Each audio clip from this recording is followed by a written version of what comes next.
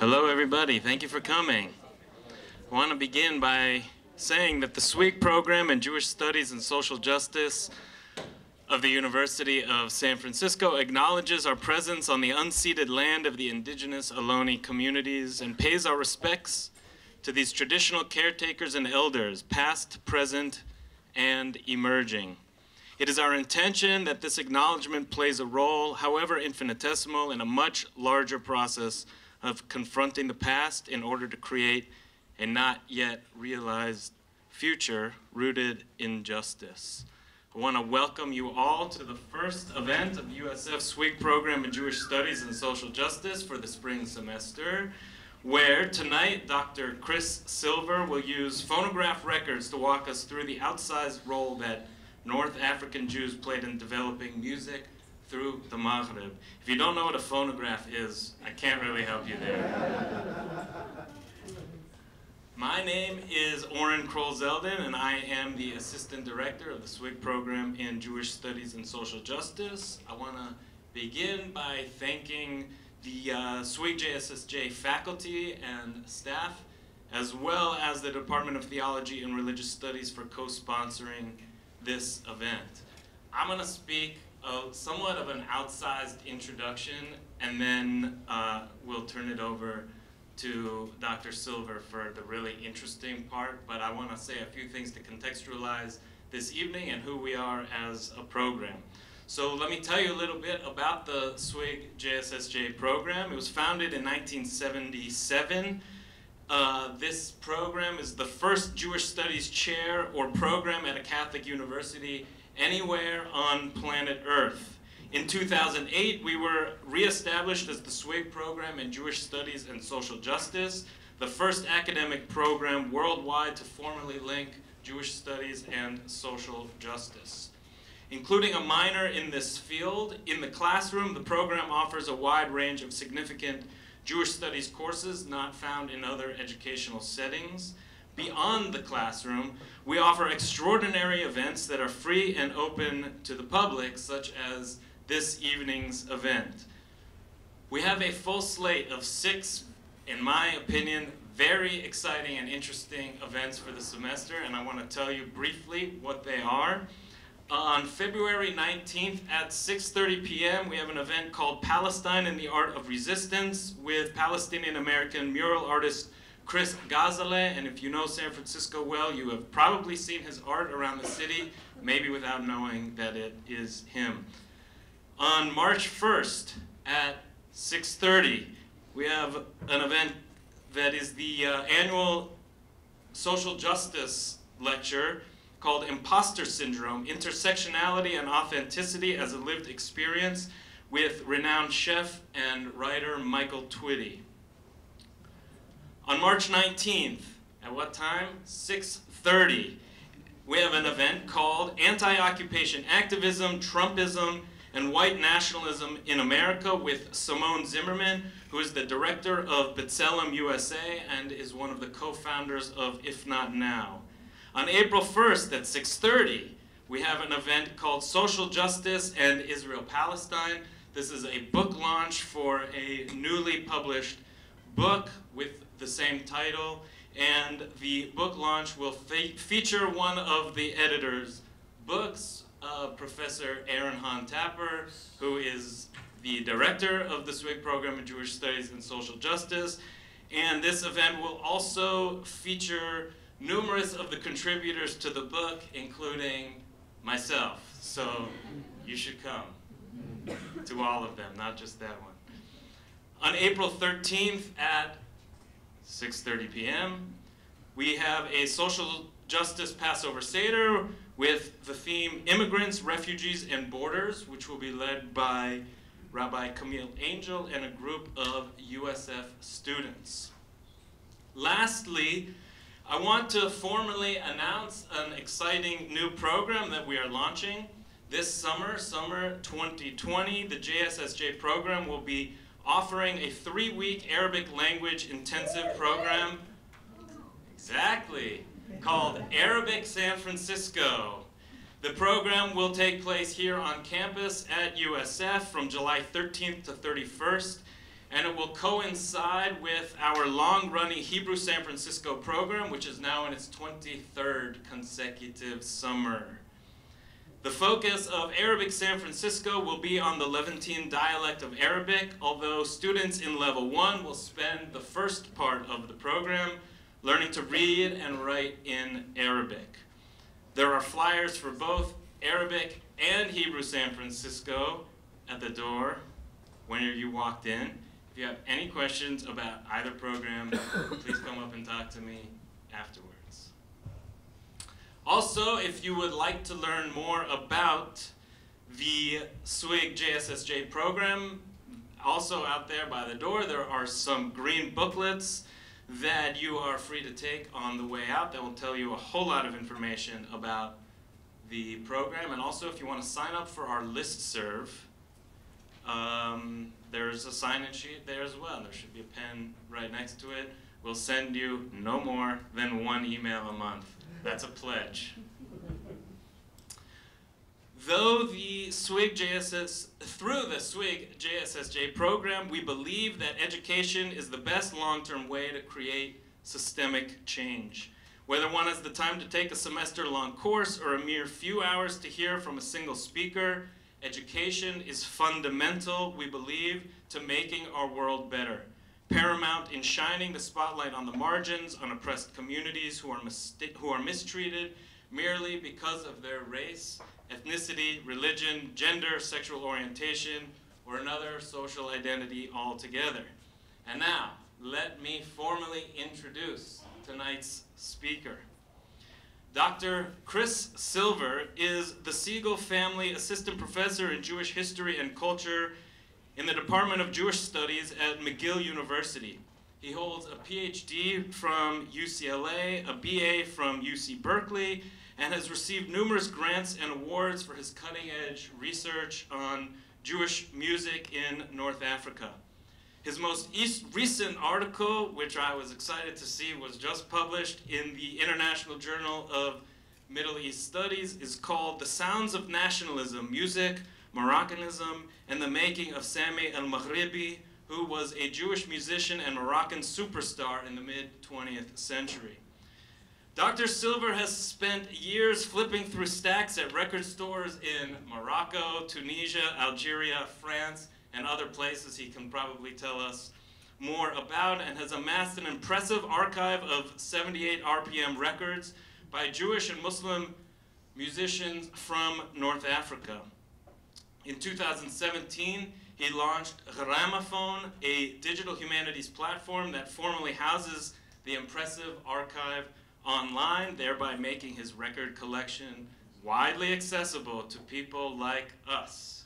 So thank you for doing that, and please join me in welcoming Dr. Chris Silver to the University of San Francisco.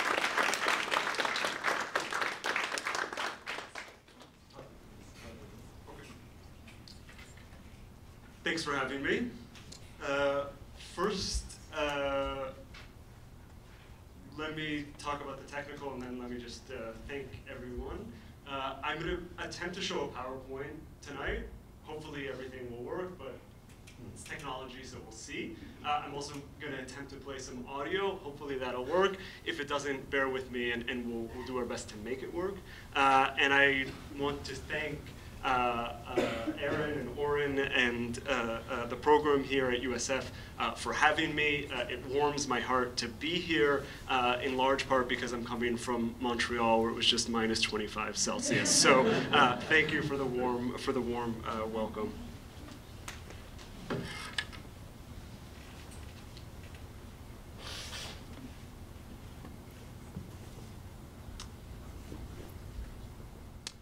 At the end of the 19th century, a young Algerian Jew by the name of Edmond Nathan Yafil embarked on a mission to save the soul of his musical heritage, one that he referred to as Arab and Muslim. He was in the right place at the right time and was just the visionary to do so. Born in the lower Kasbah of Algiers in 1874, Yafil had grown up mere steps from a number of cafes that provided stage for the capital's leading musicians of the multimodal suite music born of medieval Al-Andalus known as the Nuba. From his perch at Makhlouf Lubia, his father's restaurant, Yafil was reared on the sounds of the era's undisputed master, Sheikh Mohammed bin Ali Sfinja. Indeed, the Muslim virtuoso of the Andalusian Oud, the Quitra, performed nightly at Cafe Malakoff, the cafe still in existence which sat opposite the elder Yafil's greasy spoon. The younger Yafil would have had occasion to see Sfinja up close as well. Makhlouf Lubia was known to feed Sfinja and his Muslim and Jewish disciples. Yafil in turn also ventured to Cafe Malakoff, which was frequented by an overlapping group of, quote, Jews and a young guard of music lovers, end quote, as later recalled by Yafil's successor, Mahidin Bashtarzi. But Yafil was more than just a music lover. Bashtarzi, whose fame would in time surpass that of his mentor, described Yafil not just as a patron of Sfinja, but one with a plan for preserving his voice in perpetuity. To Yafil Sfinja, born in 1844, seemed to be the last of his generation. With him, it was thought would go his music, their music. While a feeling of imminent loss had long infused the Nuba, that sentiment was diffused throughout music and throughout Algeria as Yafil came of age in the 1890s. After more than half a century of French colonization, major changes had been wrought to the former Ottoman territory. The Algerian capital, for instance, was destroyed and reconfigured, making way for growing numbers of European settlers who contributed directly to the decimation of Algeria's Muslim population. French policy had also reordered the Jewish-Muslim relationship, at least legally. The Crémieux Decree of 1870, for example, forced most Algerian Jews to take French citizenship. Muslims, meanwhile, re retained their subject status. For Algerian Jews, the decades after the enactment of Crémieux carried with them grave consequences alongside social advancement. Waves of violent settler anti-Semitism were unleashed. Yafil and Sfinja were direct witness to this. In 1898, French settler mobs attacked Makhlouf Lubia, along with a thousand other Jewish-owned properties in Algiers. With the traditional order and traditions themselves under threat, rescue became the watchword of Yafil, who grasped, as did other reformers, that time was running out. In the late 1890s, Yafil began to compile endangered Andalusian song texts with the aid of Sfinja and his Jewish disciple, Laho Seror. This was no easy task. Musicians were loath to hand over the unique manuscripts in their possession on which their livelihoods depended. Nonetheless, Yafil made significant progress. By 1904, he released his masterwork, a 400-page compendium of never-before printed Andalusian song texts known as the Majmu' al-Aghani wal-Han min Kalam al-Andalus, the collection of songs and melodies from the words of Al-Andalus. Yafil's magnum opus was actually two compilations, the Arabic language Majmu' and the Judeo-Arabic Diwan al-Aghani min Kalam al-Andalus, the treasury of songs from the words of Al-Andalus. That the Diwan was published simultaneous to the Majmu' spoke at once to two issues we will soon address. First, to the outsized presence of Jewish musicians in Algeria, and second, to the fact that said population continued to speak, to read, speak, and sing in their native tongue more than three decades after Crémieux threatened its existence among them. For the twin 1904 publications, identical in their musical content, Yafil had worked tirelessly to surface the hoarded manuscripts of Muslim and Jewish singers, as he announced in the Majmu'. It paid off. Yafil had reconstituted much of the Nuba from its scattered pieces, which just caused the local and global music community heralded his singular accomplishment, which remains among the most critical works on Andalusian music to this day. Incredibly, by 1904, the 30-year-old Yafil was just beginning. In the years following, Yafil founded a free Arab music school in Algiers, which by 1912 he had transformed into Al Mutrabiya, the first modern Andalusian orchestra, not just in Algeria, but in all of the Maghreb. Its members, Jewish nearly to the one, donned their signature tarbush and tuxedo for each and every performance over the next two and a half decades. At Al Mutrabiya's helm, Yafil made a number of discoveries that forever altered the soundscape of his fellow Algerians. Among them, Bashtarzi, the Muslim tenor already mentioned, for whom the Algerian National Theater is now named.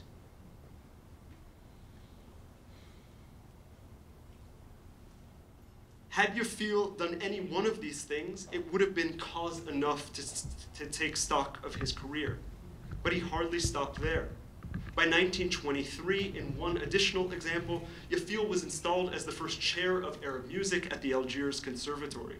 Indeed, from the end of the 19th century through his premature death in 1928, there was no figure more central to Andalusian music in Algeria than Edmond Nathan Yafil. Yet as scholars before me have acknowledged, Yafil's archival paper trail runs frustratingly thin. I hope this dance between here and uh, the PowerPoint is keeping everybody awake and alert. So his archival paper trail runs frustratingly thin. What this unfortunate lack has resulted in, as Jonathan Glasser has argued, is an ambiguous legacy for Yafil, at least beyond the circle of Maghrebi musicians and aficionados for whom he is known and appreciated. But even within that circle, the Algerian Jew proves difficult to locate within what would seem to be his most natural genealogy, given what we know.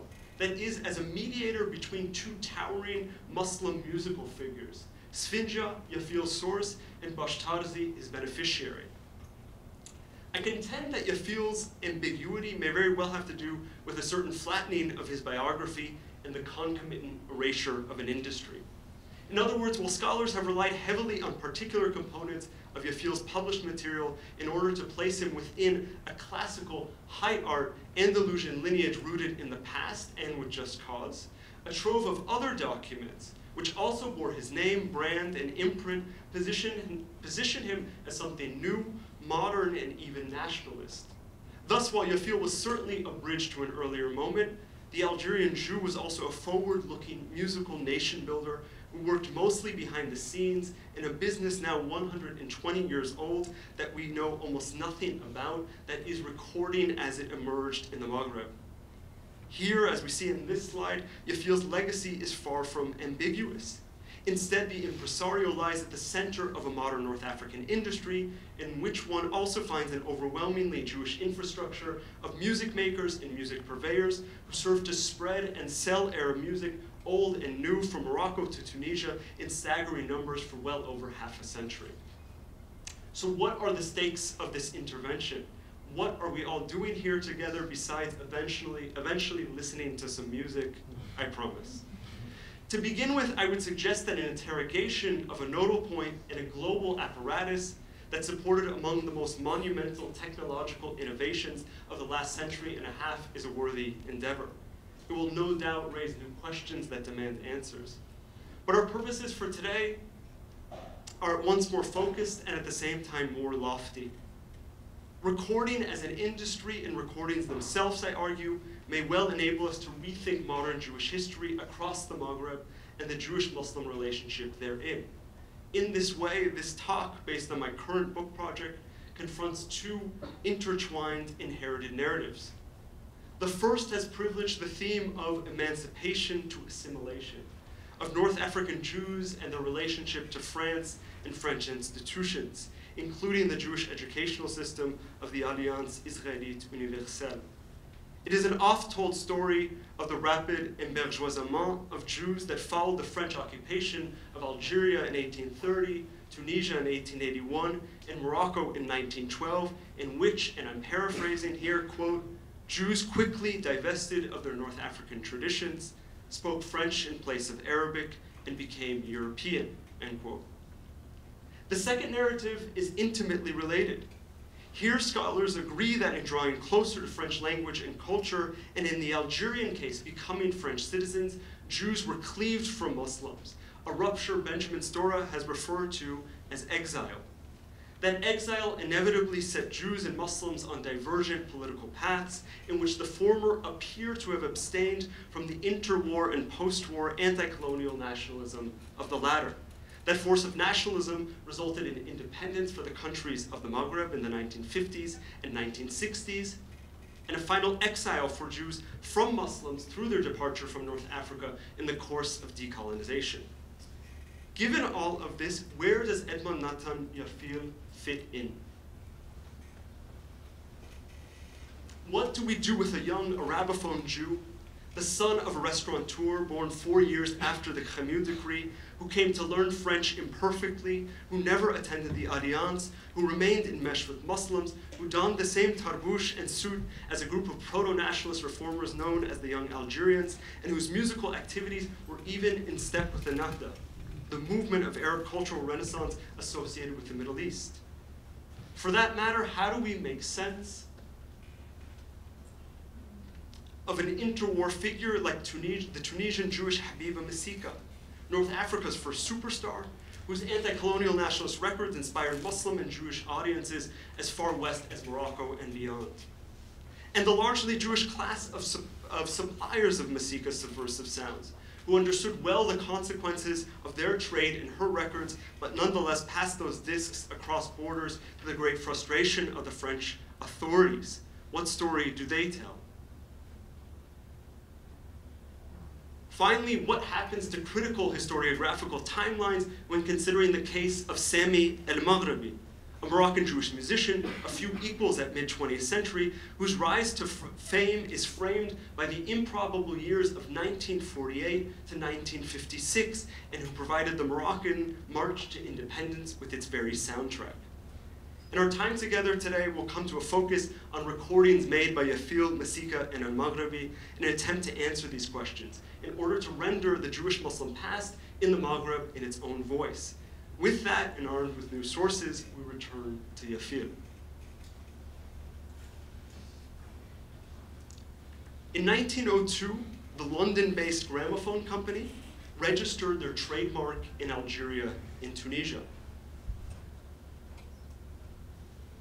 Like the French Pathé label, which had released cylinders of Andalusian music the prior year, it was an early start in the region for the multinational. Despite their advanced entry, Gramophone's initial showing in Algeria and Tunisia was disappointing at best. In both territories, the label had stagnated under their local representative, a non-Jewish Frenchman in Algiers named Des Simon. In April 1906, a frustrated Alfred Clark the director of Gramophone's French subsidiary, demanded that Des Simon, quote, reinvigorate the Algerian market, end quote. He was especially concerned that increased competition from German, German labels would marginalize Gramophone in North Africa. Some months later, Clark dispatched American sound engineer Charles Choplin to remedy the situation. In Algiers and Tunis, Choplin recorded 216 single-sided flat discs. Those masters were then sent to Gramophone's pressing plant in Hanover, Germany. 100 of those sides were subsequently transformed into 50 double-sided commercial discs. As a first run, only 24 copies of each record were shipped back to the Maghreb for sale. To be sure, the output was rather meager. Nonetheless, Gramophone still saw great potential. As Clark soon understood, however, the company possessed neither the right access nor representation. In 1908, Clark traveled to Algeria to investigate. Upon arrival, he wrote to Gramophone's managing director, Theodore Birnbaum, in London, quote, I found that in Algiers itself, there were two people who dealt considerably in talking machines, Kone and a Mr. Yafil, an Algerian Jew who has an establishment in the native town, end quote. While the Paul Colline company, established in Algeria since 1903, impressed, Yafil was far more difficult to ignore. Clark added that, quote, before the advent of the disc talking machine, Yafil made phonograph records on cylinder and obtained the exclusive services of the best Arabian and Moorish artists, holding them under contract, end quote. Clark further observed that, quote, all the good trade in the place goes to Koni, all the native trade goes to Yafil, end quote. That the so-called native trade went to Yafil owed to the fact that he operated much as North African Jewish merchants had in the previous century with regard to imported goods. Clark noted, for instance, that in, quote, Algeria, everything is sold on the installment plan. And to be able to do this, one must be a native of the place, end quote. As his co-religionists had done in the past, Yafil was extending credit to Muslim and Jewish clients, but now to purchase records. Des Simon did not. Instead, he quarreled with Yafil Clark reported that, quote, the result has been that Des Simon has the worst records on the market, end quote. Yafil, on the other hand, was expanding his operations. Clark informed Birnbaum that by 1905, quote, Yafil being anxious to do business, invited Odeon and Pathé to come to Algeria and make records, end quote. And when the Eden label, an anchor record, moved into Algeria between 1906 and 1908, Yafil was once again employed, this time as artistic director. In the course of Clark's 1908 visit to Algeria, then, he concluded that Gramophone, the recording giant, needed Yafil. Yafil, a, record, a recording giant in the making, agreed. Clark announced to Birnbaum that, quote, we then fixed up Yafil to represent us, further to give us the services of all his tied up artists. I left Yafil highly delighted and a keen gramophone man, end quote. As for Tunisia, Clark transferred representation there from the Simon to the Bembarons, Jewish brothers and the major purveyors of Arabic language records in Tunis. Within moments of the first recording sessions in Algeria and Tunisia, Yafil had become synonymous with the emergent industry itself.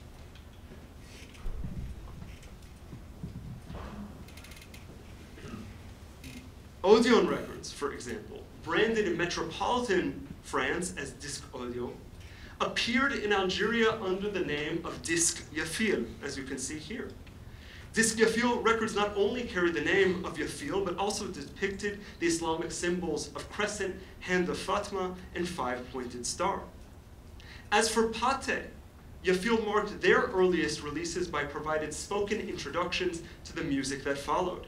He announced the title of the song and then the name of the performer before pronouncing the record a product of, quote, collection Yafil, end quote, a phrase he had in fact trademarked since 1904. So here we're going to see if the audio works.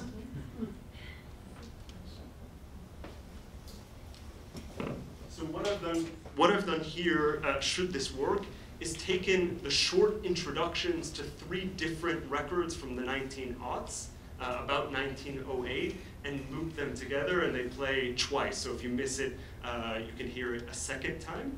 Uh, and this is Yafil pronouncing the record part of Collection Yafil.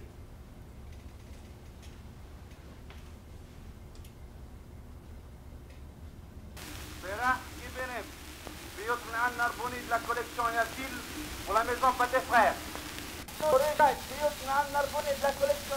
pour la maison pas tes frères.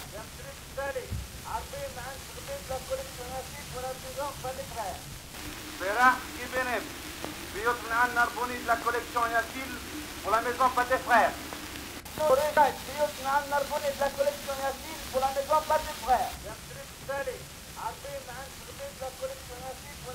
pas tes frères.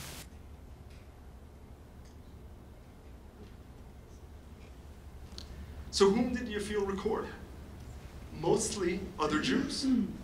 So much so that at least one interwar critic derided Arab music in Algeria as little more than la musique juive, Jewish music. In Algiers, almost all of those Jews were in earshot of Yafil's base in the lower Kasbah. Some were even closer. Laho Seror, for example, shared Yafil's home office. Alfred Sassi Labrati, another early Algerian recording artist, lived around the corner. Moise Benciano, who recorded as part of an ensemble called Jama'iyya al-Mutarabiyya, resided down the street. As Malcolm Theoleyre has shown, the vast majority of al-Mutarabiyya, Yafil's expanded interwar Andalusian orchestra, lived within 200 meters of one another.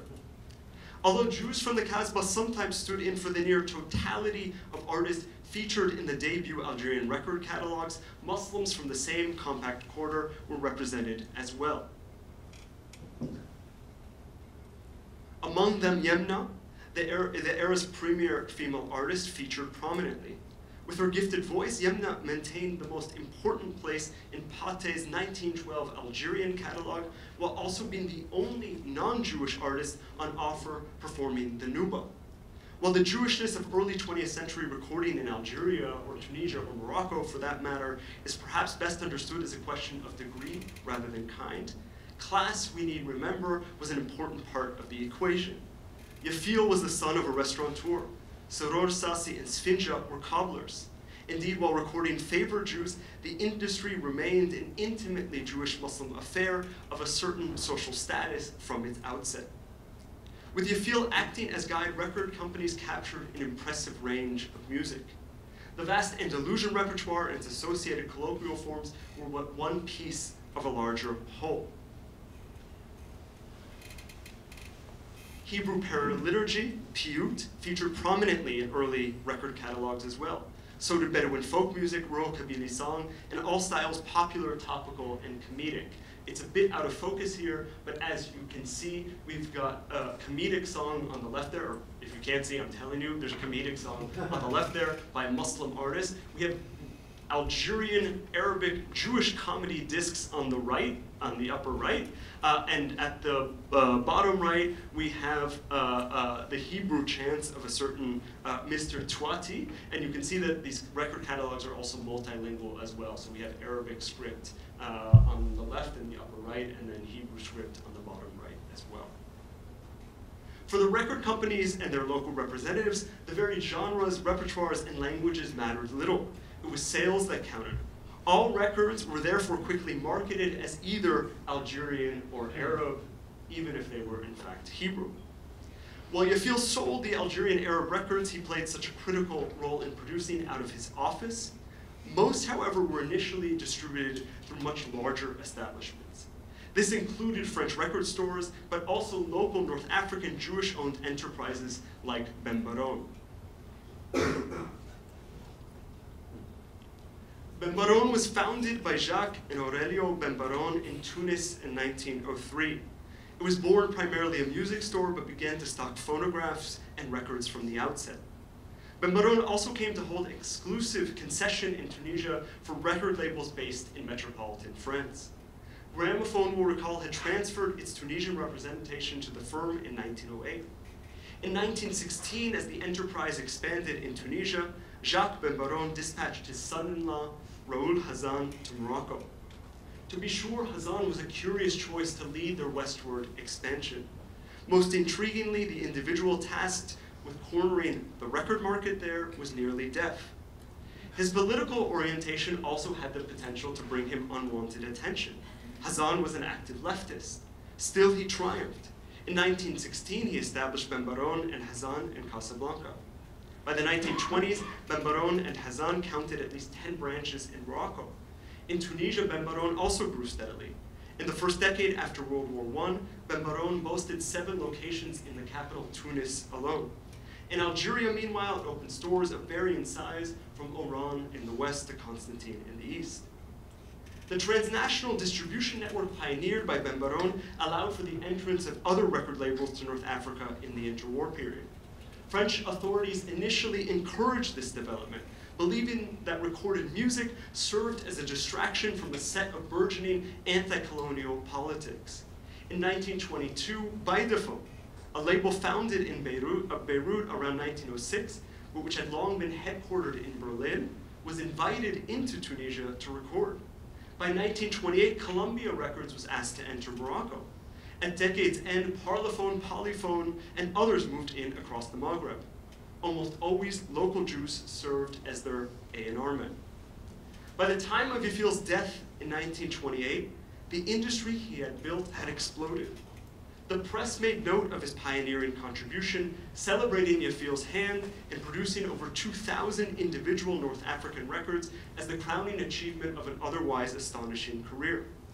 That same year, Gramophone reported that Bembaron and Hazan in Morocco was selling tenfold more Arabic records there than French offerings.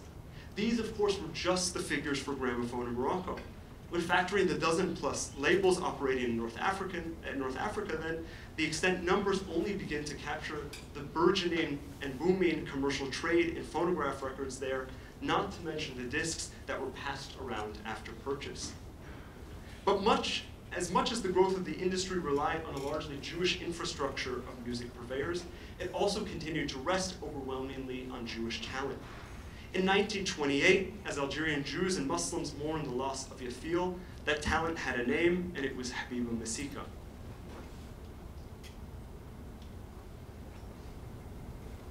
Everyone doing okay so far?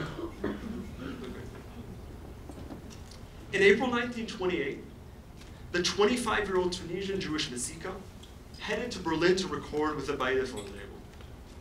That 1928 Baidaphone session would represent a number of firsts for the musician and actor described by Bachetarzi in his memoirs as the, quote, embodiment of the Arab artist, end quote.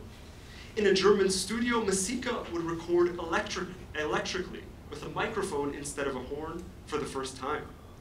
It was also the, for the, it was also the first time that the Malikat Atarab, the queen of musical ecstasy, as she was known, recorded beyond the bounds of the French protectorate of Tunisia. There she veered headlong into the political. Nearly a year after the Great Syrian Revolt had been suppressed by French forces, this is in 1927, Masika, North Africa's first superstar, superstar, and oft referred to as the second Sarah Bernhardt, made a record entitled Anti Suria Biladi, Syria, You Are My Country.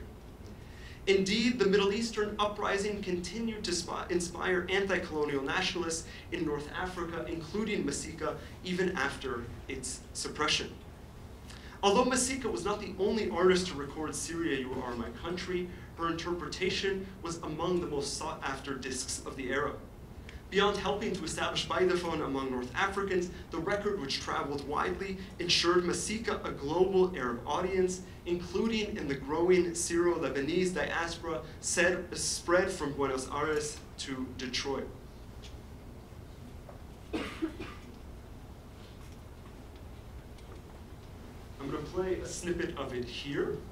Why not? Um, here you can see the Baidaphone label uh, Habiba Masika's name, the title of the song. In parentheses, it says on piano as well. Uh, and that you can see that it once belonged to a, a member of the Syrian diaspora uh, in Detroit.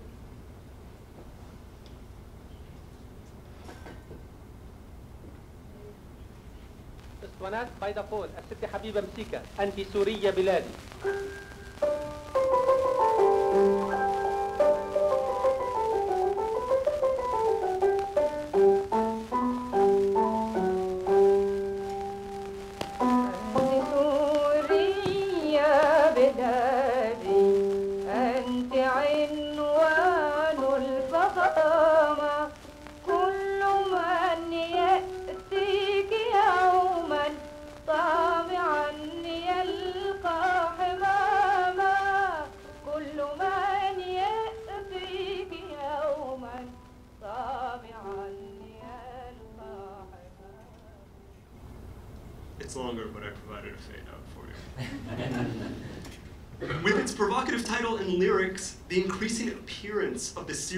Syrian-themed record across the Maghreb through French intelligence agents, civil controllers, and the residents general of Morocco and Tunisia, and the governor general of Algeria into a panic. That panic would turn to terror in the aftermath of Masika's murder by a male fan on February 21st, 1930. On February 23, 1930, the Office of the Resident General in Tunisia sent a hurried note to the Director of Public Security. From the morning papers, the office had, the office had gleaned that Masika's funeral, scheduled for February 24th, just days before the end of Ramadan, had been postponed from the morning to the afternoon by the Jewish community so that more Muslim mourners could attend. Not mentioned in the press, however, was a particularly actionable piece of intelligence. As one minister stated in no uncertain terms, quote, Habiba Masika has been in the service of the Desturians for the last few years, end quote. That Masika had found common cause with the anti-colonial nationalist Destur led the director of public security to call for, quote, the most serious observation of what was to take place at the funeral, end quote. The day of, 5,000 Jews and Muslims accompanied Masika to her final resting place in the capital's Jewish cemetery. Particularly worrisome was the fact that these Jews and Muslims, quote, belong to all classes of the population, end quote. As one official stated, quote, never before in Tunisia has such a funeral taken place, end quote. In May 1930, just months past Masika's death, Baidaphone sent a shipment of records from Germany to Bembaron and Hazan in Morocco. It was business as usual as far as the two companies were concerned. The French security services, however, were acclimating to a new reality. On May 16, 1930, the civil controller of Morocco's Ouarzem region wrote with trepidation to his superiors in Rabat that, quote, hidden in a batch of records of Arabo and Andalusian music was a disc entitled, quote, the national anthem of Moroccan youth, end quote, recorded by the Moroccan Muslim musician Tahamid Ben Omar. But civil control headquarters were already aware of Ben Omar's national anthem. Since Bembaron and Hazan had begun selling it, reports on the nationalist hymn had been flooding their office. And by May 16, 1930, the stakes had been raised considerably. That same day, Morocco's resident general, Sultan Mohammed bin Yusuf, promulgated the Berber Dahir, a decree which attempted to segregate Berbers from Arabs through a dualistic legal system, a move seen by many as a violation of Islamic law. The Berber Dahir set off months of protests that fed a growing nationalist movement, which had now possibly secured its anthem. In fact, the civil controller of Ouazzem described Ben Omar's record as nothing less than a, quote, Moroccan Marseillaise, end quote. Given the climate, civil controllers redoubled their efforts to seize copies of the harmful disc. But even at its outset, the search quickly shifted away from Ben Omar and toward Masika, whose 1928 recording of another anthem for Baidaphone, the Egyptian national anthem, proved enduringly popular among Moroccans. On May 5, 1930, hot on the trail of Ben Omar's Moroccan Marseillaise, security agents zeroed in on Mustafa Msharfi, a Muslim merchant who was found to be renting phonographs in the nationalist hot hotbed of Fez. Lemsharfi's rentals included 20 records, many of which, according to the author of an unsigned report, had the effect of, quote, stirring up Arab feelings, end quote. An informant passed on a partial list of those discs. Each was by Masika, including her Egyptian national anthem. On May 30th, 1930, yet another civil controller sent an urgent message to headquarters. The civil controller of Dukala wrote that, quote, it has been signaled to me that a record label in Berlin has sent phonograph records to Morocco in favor of Egyptian independence, which are prone to provoke unrest in the Muslim milieu, end quote. He identified the culprit as Masika's Egyptian national anthem. But the characterization of her records as prone to wreak havoc was too little too late.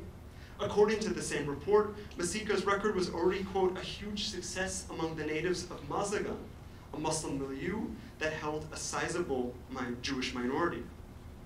Apparently, Jewish and Muslim residents of Mazagan were, quote, excited by the rousing music and words hailing liberty. They sing it in groups, full of energy, in sync with the phonograph, and accompany themselves on guitar and mandolin. Given the scale of the Masika problem, the authorities concluded that Baidaphone needed reining in, but of course the label was only part of the problem quote, it is relatively easy to control the importation of records made by the large and medium-sized firms, end quote, wrote the Director General of the Military Cabinet in Morocco on February 27, 1931. False confidence aside, his concern instead was the mushrooming of small record labels of unknown origin engaged in the, quote, clandestine fabrication of records, end quote. Arabic record one of those outfits, and which curiously carried an English language name, Arabic record, was particularly vexing. According to Lieutenant Colonel Margot, director of the Protectorate's official Arabic language newspaper, some Arabic record releases had already, quote, whet the appetite of our Moroccans, end quote, by which he meant their taste for nationalism. Among those causing a stir were those that only listed the performer as Malikat Atarab, Using her sobriquet in place of her real name, an Arabic record was bootlegging Masika's Baidaphone records. Or perhaps Arabic record was Baidaphone itself. Either way, that a minor label of unclear provenance could sell Masika's records years after her murder without inscribing her name anywhere, signaled the scale of the nationalist problem in Morocco, which was joining Jews and Muslims together with or without Baidaphone. While civil controllers chased Masika's records, a more robust response to her problematic discs was considered. In the early 1930s, a legislative committee attached to the Residence General met thrice in an attempt to decide the fate of records entering the Protectorate. The legislation, however, would await approval for several years as bureaucrats jostled over best censorship practices. Meanwhile, other nationalist records, this time made by Algerian Jews, were again sounding the alarm. Over the next decade, security agents found that the Masika record stirring national passion so was being distributed in large part by Moroccan Jews. In November 1930, for example, the head of regional security in Marrakesh caught Mavdoshe Simini trading in Masika's anthem from his shop adjacent to the Jewish quarter. Like others found with the record at the time, Esimini refused to incriminate Raoul Hazan, from whom the subversive disc had been purchased. By 1937, faced with their own Masika predicament in Algeria, Bashar Asmati, a Muslim officer in the Bureau of Native Affairs there, delivered an impassioned address on the subject of, quote, the Arabic language record, end quote. He lamented the fact that, quote, Jewish merchants had become auxiliaries, most of the time unwittingly, of a form of anti-French propaganda, of nationalist and pan-Arabist ideas of Middle Eastern importation, end quote. But that Jewish purveyors of music, or music makers themselves, were unwitting, that Mavdoshe Simini, Bembaron and Hazan, Habiba Masika, and those who sang along to her recordings knew not of what they were doing, there's little evidence in the archival record. Throughout the interwar period, Jews, alongside Muslims, endured harassment by French officials, confiscation of their goods, and worse, all in the pursuit of, quote, rousing music and words hailing liberty, end quote. Mm-hmm. And as the French in North Africa moved into silence Masika, other actors filled the void. In 1939, Nazi Germany began broadcasting the Jewish musicians' interpretation of the Egyptian national anthem as part of a radio war to win the hearts and minds of the Maghreb's Muslims. By way of conclusion, then, we pick up just after World War II's end. This time with another emblematic figure, a Moroccan whose recordings may very well permit us to alter the post-war timeline for Jews and Muslims.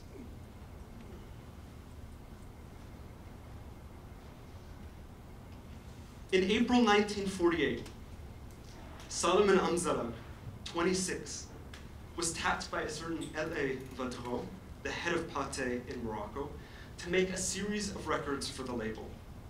Since childhood, Amzalag had been singing, first at the Sabbath table in the coastal city of Safi, then in the capital Rabat, later in the synagogue, and more recently for a growing number of admirers in Casablanca. Vadra, however, did not just intend for the young Moroccan Jewish musician to be but one artist among many. Rather, he believed Amzalag to be the label's future in post-war North Africa. Describing him as, quote, indispensable to the effort of revitalizing our Arab catalog, end quote. In 1948, then, as forms of anti-colonial nationalism emerged that increasingly circumscribed Moroccan and Arab identity in ways that could exclude Jews, Pathé saw little issue with a Moroccan Jew serving as anchor to their Arab catalog, nor would his Jewish and Muslim audiences. And just as 1948, the year marking Israel's creation and the Palestinian Nakba, has often been regarded by scholars as marking that final exile, the final separation of Jews from Muslims, the end of Moroccan Jews in situ, as hundreds then thousands began to depart. In 1948, a Moroccan Jew was beginning his meteoric ascent to national spotlight. He did so under the stage name of Sami el-Maghribi, Sami the Moroccan, making explicit his identification with the nation at a most critical moment. Neither 1948 nor Moroccan independence in 1956 were an end for al-Maghribi, who not only remained in Morocco during those years, as did 160,000 other Jews until 1960, but whose astonishing climb to national and transnational stardom were measured by them. So how iconic was he? Well, by 1952, al-Maghribi had become the official voice of Coca-Cola in Morocco. His spoken dialogues and musical hooks for the soft drink company were played in heavy rotation on Moroccan radio over the next several years. During this period, the musician became the sound of brands like Gillette, Palmolive, and Shell Oil as well.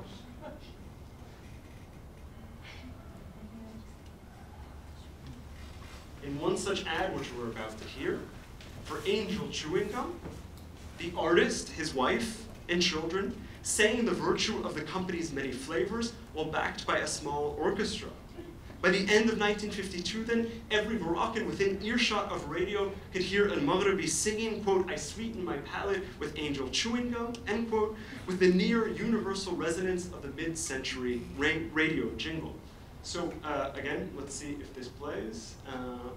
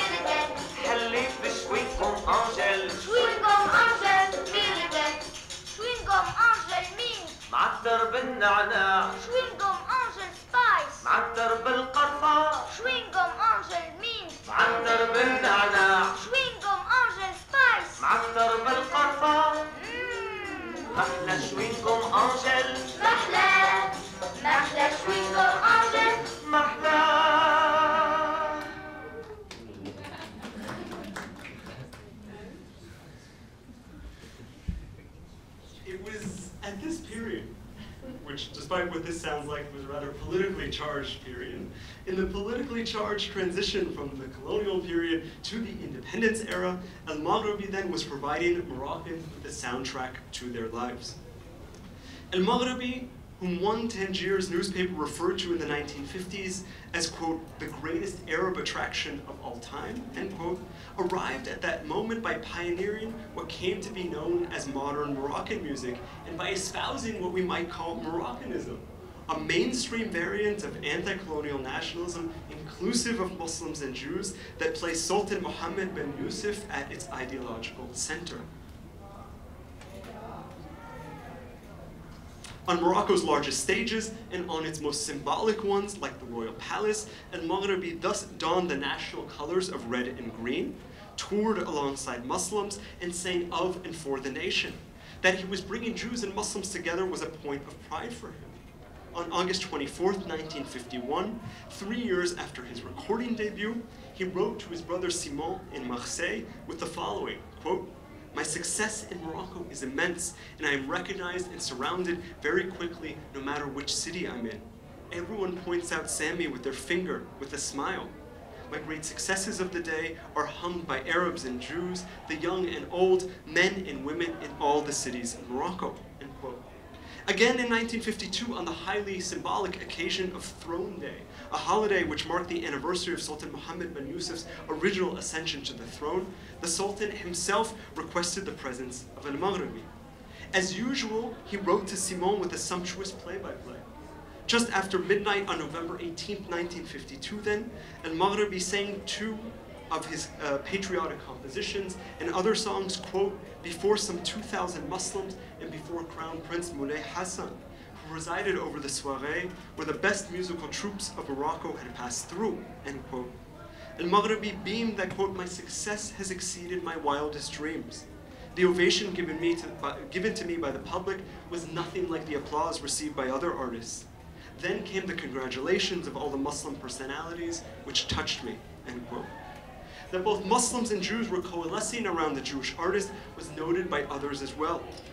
In April 1953, French intelligence officials wrote to their superiors of an El Maghribi concert in Mazagan, the same city where Masika's records had once riled so, describing a quote, hall packed with an audience composed exclusively of Moroccans, Muslims, and Jews who were pleased with the event, end quote.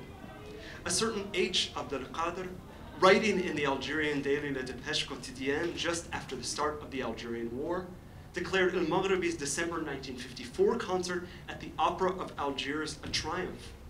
The journalist was delighted that the largely Muslim audience had included, quote, many Jews who have come to applaud their idol, end quote. In the mid 1950s, then, it appeared that the Jewish Muslim past had yet to pass even as war gripped Algeria. The same was true for Morocco as it navigated independence. Here we can see Sami al-Maghribi on the cover of uh, uh, a radio publication, uh. Uh, here is uh, Algiers. On May 15, 1956, two months since Moroccan liberation from France, Al-Maghribi wrote to Simon with an update from Casablanca. Quote, Saturday night, I recorded verses in classical Arabic for Radio Morocco, including a military song extolling the glory of His Majesty, Moroccan freedom, and the Royal Armed Forces. This was the only Moroccan song presented to radio listeners on the occasion of the Army's first parade, end quote. Al-Maghribi added that he had been flooded by both compliments and record orders since the broadcast of the song.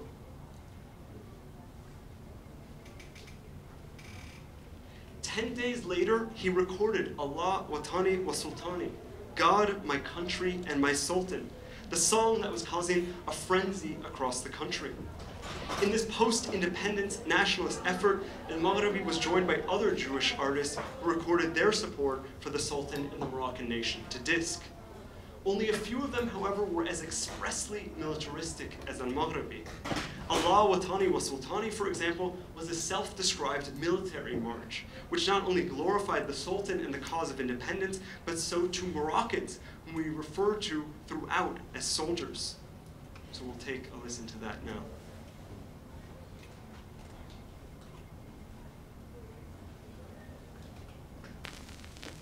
It's one. سامي المغربي.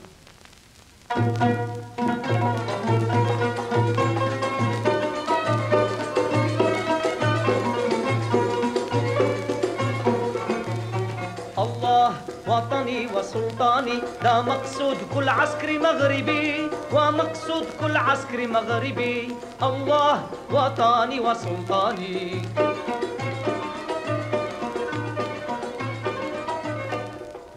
بأمرك يا ربنا الرحمن بأمرك يا ربنا الرحمن وبفضلك يا سيدنا السلطان وبفضلك يا سيدنا السلطان وبجود زعماء الوطن مغربنا مستقل That's my fade out again. I have a very niche career uh, ahead of me if this doesn't work out. Mhm. exactly. As Algerians in metropolitan France and, an, and, and in Algeria itself soon adopt the Jewish artist's anthem, El Maghribi's brother warned that the military march was, quote, causing a furor here and in the Arab world, end quote, and that he need exercise caution moving forward vis-a-vis the French. When El Maghribi did eventually leave Morocco in 1959, he did so for a set of complicated reasons, including one born of gossip. On March 1st, 1959, he informed Simon that rumors were circulating about his, quote, final departure following an expulsion order, end quote. In the same breath, he announced that he intended to hold a press conference in his apartment to dispel the false charge. Before that could happen, however, he wrote to Simon again. Quote, it has become clear that the noise bubbling up around me was due to an erroneous interpretation of the truth, end quote. Apparently, the rumor mill, the rumor mill had confused El Maghribi for another palace favorite, the Algerian Jewish Salim Halali, who may have been temporarily forced out of Morocco days earlier. That a darling of the Moroccan monarch like Halali could be summarily expelled in the independence era understandably unnerved the Jewish musician. Al-Maghribi, of course, was more than just an artist. He was also a father of six. Furthermore, the entire conflagra- conflagration had surfaced in the midst of a serious economic crisis. At the same time, a new cut Moroccan customs regime was making the transnational affairs of Samifone, his brick and mortar stores and record label, ever more difficult to operate. He made a decision with his family in mind. He left. Other cultural figures would too. Months after his departure, word had reached him that the Muslim recording artist Ahmed Jabran had been jailed by the regime. Soon thereafter, Jabran arrived in exile in Washington, D.C. Al-Maghribi's concern for the well-being of him and his family appeared to have been well-founded. When he returned to Morocco in May 1967 to give a series of concerts, the press met the national icon on the airport tarmac. Quote, who are you, Sami al-Maghribi? End quote, a reporter asked provocatively of the artist. Without missing a beat, he responded, quote, first of all, a Moroccan, end quote. Let me offer some brief final thoughts before I take questions. In tracing the trajectories of but a handful of musical figures and their sounds, I have endeavored to record a different history of the Maghreb and the Jewish Muslim past there through a history of recording itself.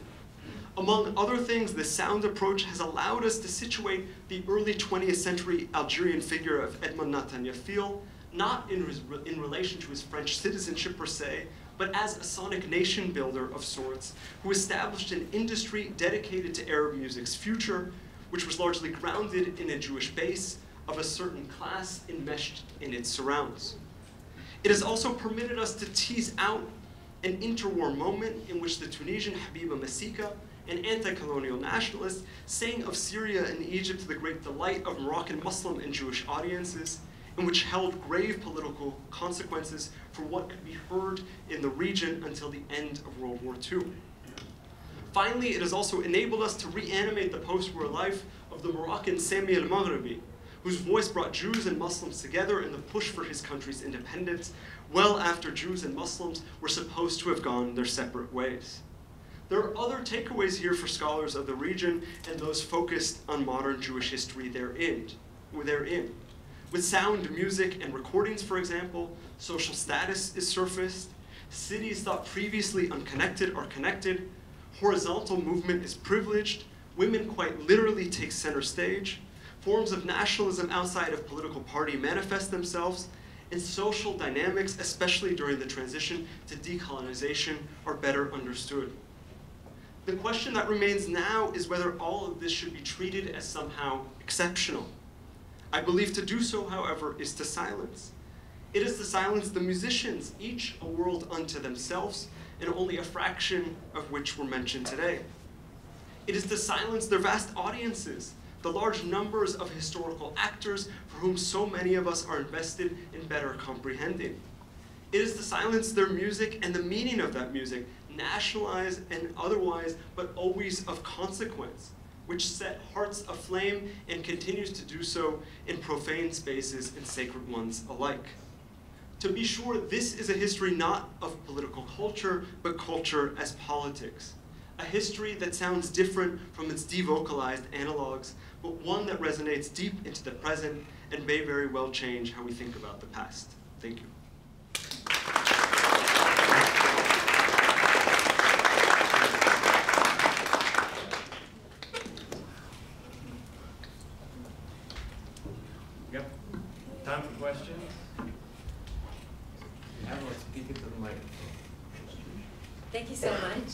Um, two quick questions. One is, how can we listen to the music um, online or otherwise? Um, and the other question is around, so it's interesting, for years I've had many Shabbat recordings of Sami al-Maghribi. And I, so like hearing his gum commercial was Mm-hmm. really amazing. And I'm wondering whether, like, was it, so he went, he went to France? He went to, he went to I'll France? give you, the- so. you That's what I, I wanna wanna know what happened where he, when he moved, and also if he came, like, if he had always recorded liturgical music as well, or that was a later addition. Yeah, can, I- can I write on this whiteboard? I don't know. I'm- Yeah. Neither do I, neither do I. Make sure it's a dry erase marker first. So, uh,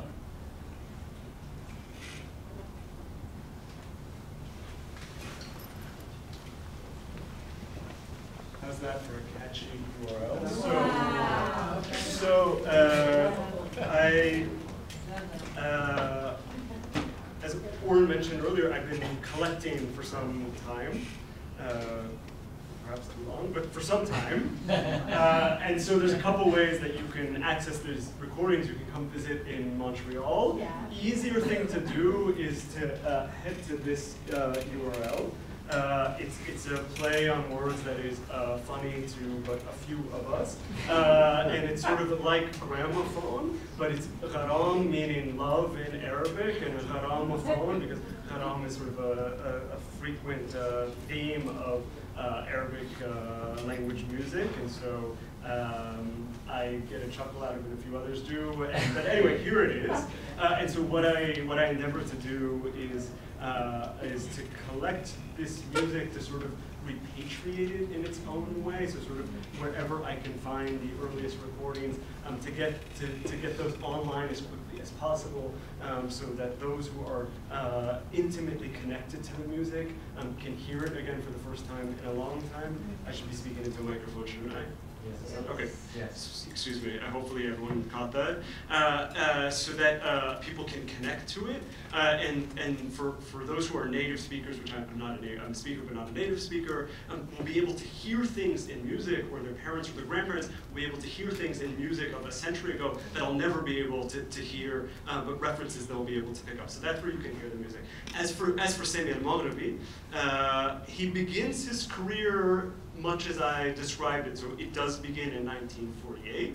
Uh, in May 1948, he will leave uh, Morocco for France to record. So not to Israel, but for France to record. Uh, and he's recording uh, popular music, a, a popular music that he will grow less interested in with time, but that's true of uh, many recording artists. They distance themselves from their early repertoire because it's not serious. Uh, in time, he will take on uh, the task of recording ever more uh, serious uh, music, so sort of uh, Andalusian music, sort of mo- most broadly speaking. Uh, he will he will he will do a series of recordings of that. He will leave Morocco in in, in 1959. Uh, he will spend some time in Paris before coming to Montreal where he comes to serve as the uh, Hazan of the Spanish and Portuguese synagogue there, and where he'll undertake a number of uh, liturgical recordings, uh, both Moroccan and uh, of, the, of the Sephardi rite, so the non-Moroccan uh, uh, Sephardi rite, also record in Ladino and things like that. Uh, the family also owned uh, a bakery in, in Montreal, and so, of course, the community was changed in, in Montreal. Uh, it was different, and so he took on a different role, but still using his voice. Uh, and he would as he got settled there, he would go back to um, recording uh, Arabic language music again, uh, and sort of um, some of it was was an answer. Some of the music he recorded uh, was an answer to some critics who, who would ask him how a religious figure could, could sing secular music and he has a he has a beautiful song which you can find uh, online. Uh, Nirani Wansali. I, I sing and I pray. Uh, basically demonstrating that there, for those who know, there is no disconnect between the two. In fact, that they're intimately connected. As I said earlier, he gets his start at the Sabbath table, uh, where many Jewish uh, artists will get their start uh, before sort of uh, migrating to the mainstream of Arab popular music.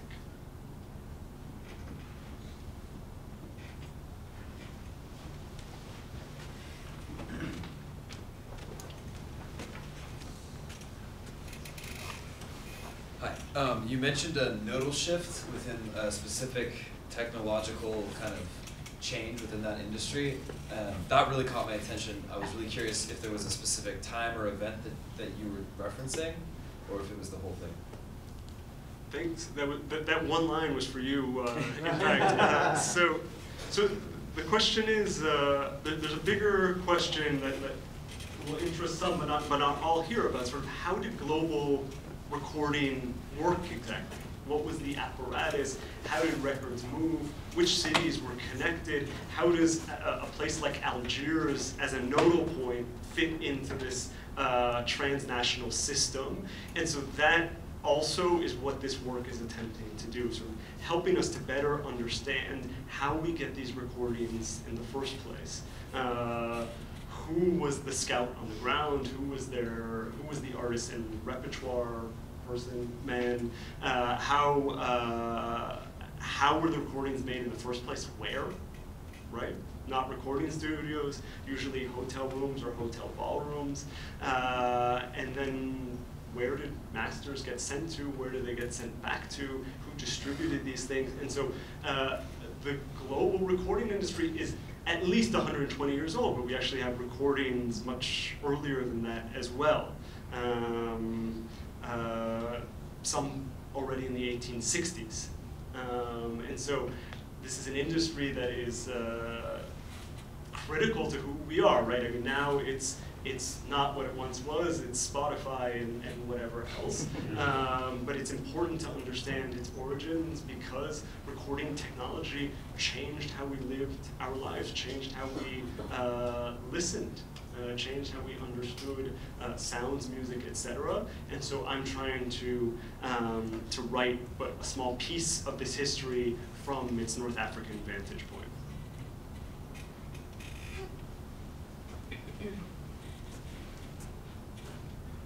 More question?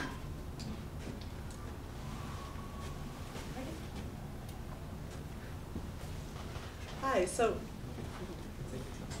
can you hear me? Yes.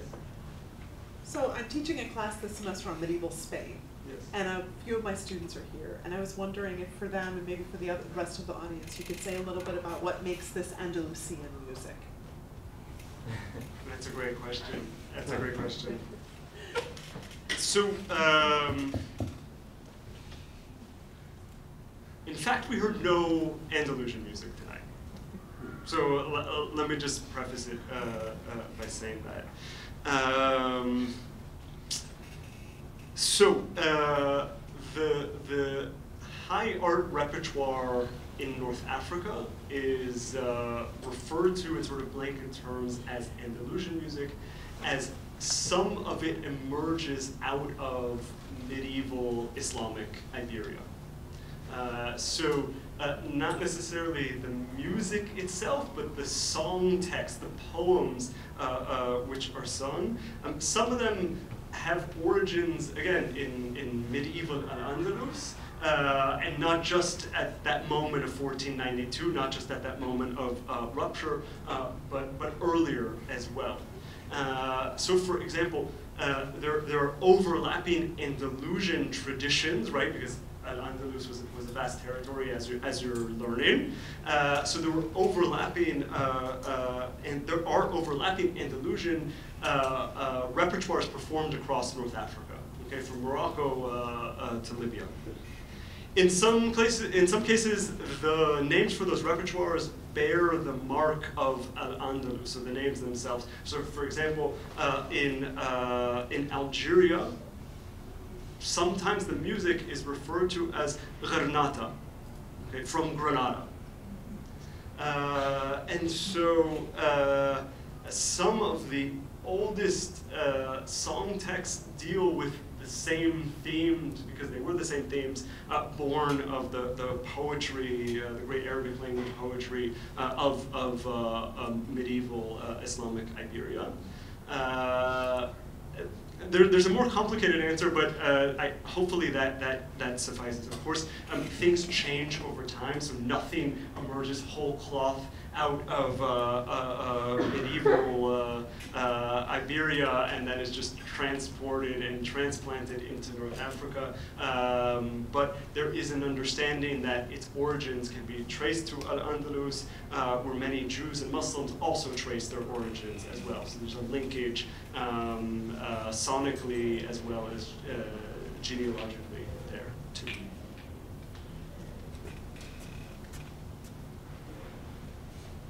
Hi, I'm, I'm struck by the fact that a couple of these singers were really protest singers against the French occupation. I mean, I know that's not everything that they sang about, but, but those were some of their most popular songs, and it does seem to be kind of a Jewish tradition. We have Jewish protest singers in our country as well. Um, and, you know, and at the same time, they were French citizens. Algerians. Tu- Tunisian Jews, Algerian Jews, and Moroccan Jews, right? No, just Algerian Jews. Oh, just, oh, okay, all right. So I just wonder, did they,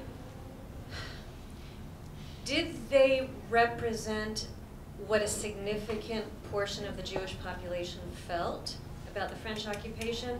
And I guess I have a, a number of questions about that. And what was it like for them to be really in between, as so many Jewish people are in so many places in the world? Do those two questions make Those, sense? those are great questions. Um, so, uh,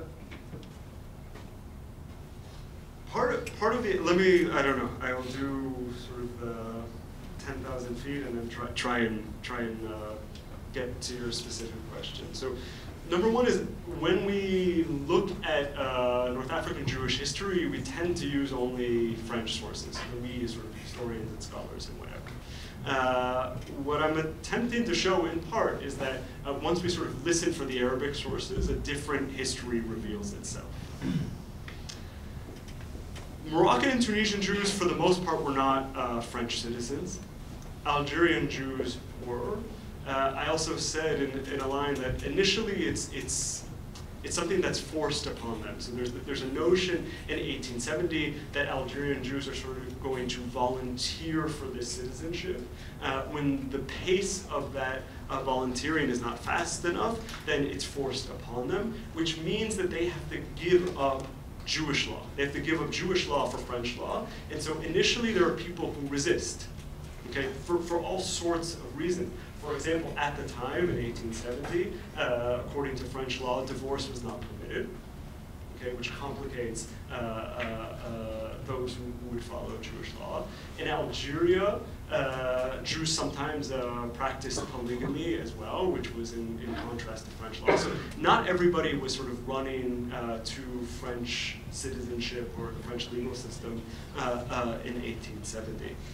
Uh, the other question I think that's important to ask is sort of um, what legal status reveals and what it doesn't reveal.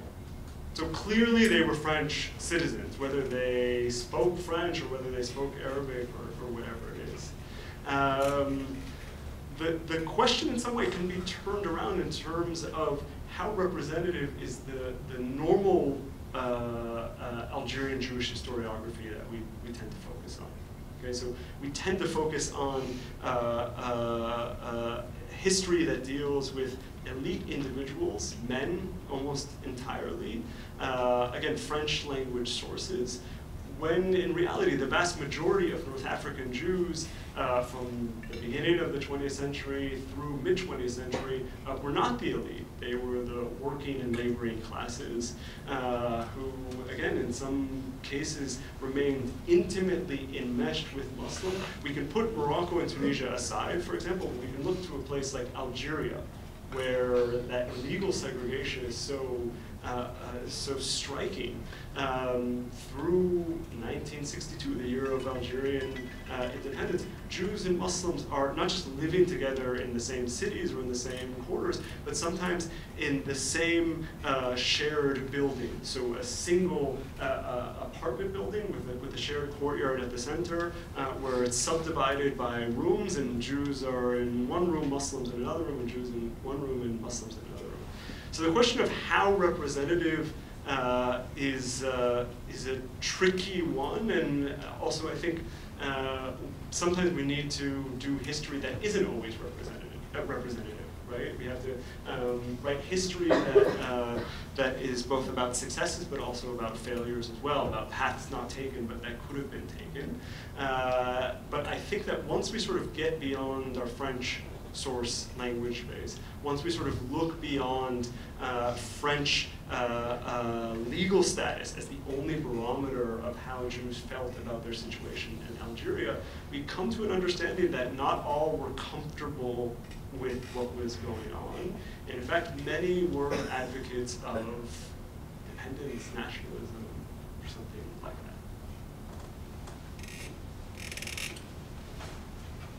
that. Probably have time for one or two more questions if anyone wants to ask.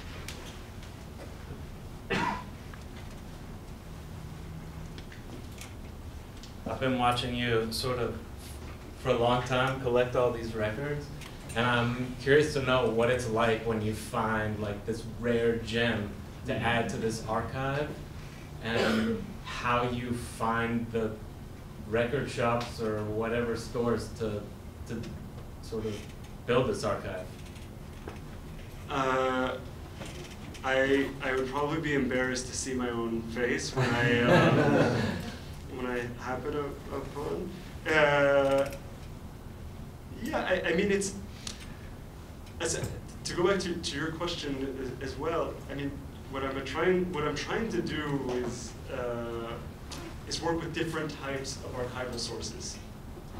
Okay, uh, so um, not just sort of um, archives of state and archives of official institution, but archives, records of a different sort, uh, sound recordings uh, that, that offer us um, all sorts of, of, of, insight into the past, not just the sounds that are buried between the grooves, um, but what's written on the labels uh, uh, as well. So um, here, for example, we can glean much, right? So here, one of the first, if not the first, uh, independent labels in Morocco, Samiphone, appropriately Um, here in Arabic, just under eight. Uh, can anyone, do we have any Arabic readers here?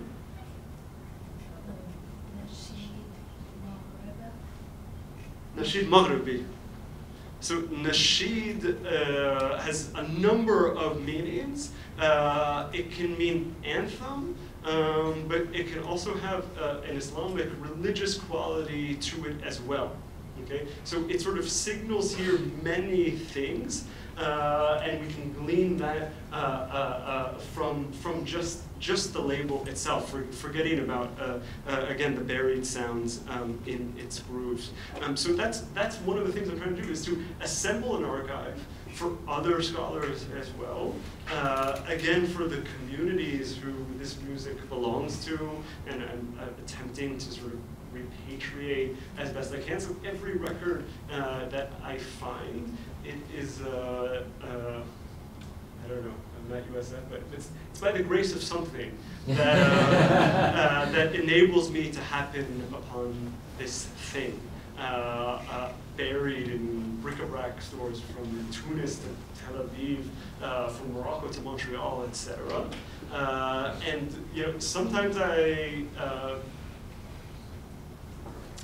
you know, so sometimes Marie Kondo is, is in my head, right? Uh, and so maybe I, I shouldn't keep assembling and collecting. Um, but perhaps this is the last chance. Uh, already some of these recordings are well over a century uh, old. Uh, and uh, it may be true that in some cases some of these recordings are held by other institutions, um, but things happen at other institutions, things happen at archives, or they're just not accessible. Uh, tagged with infinite amounts of metadata, but not accessible unless you have username and password. So I'm sort of, I'm attempting to cut through that uh, to bring these uh, sounds and voices back to their public. Uh, and uh, I think more so than finding the records themselves is that ping or email I get from the descendants uh, that really sort of sets my heart aflame. Uh, in some cases, recently someone emailed me who's the grandson of someone I posted about, who bears the name of his grandfather. So I got a name from the artist himself by way of his, his grandson, and who told me that he had never heard his grandfather's voice awesome. before. Uh, and so th this has happened on multiple occasions, and um, I think this is part of the work we need to do with uh, scholars, historians, and members of a, a, community bigger than ourselves. Well, thank you for your work. Thank all you for coming as well. Have a good rest of your evening.